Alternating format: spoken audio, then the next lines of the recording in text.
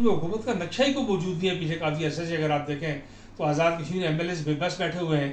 वजरा यानी जो छः आठ महीने से जो वजरा इंटरव्यू करके पहले ग्रेड की, दूसरे ग्रेड की तकरीर नहीं कर सकते तो उन उन को खुद सोचना चाहिए कि उन्होंने क्या कर रहे हैं।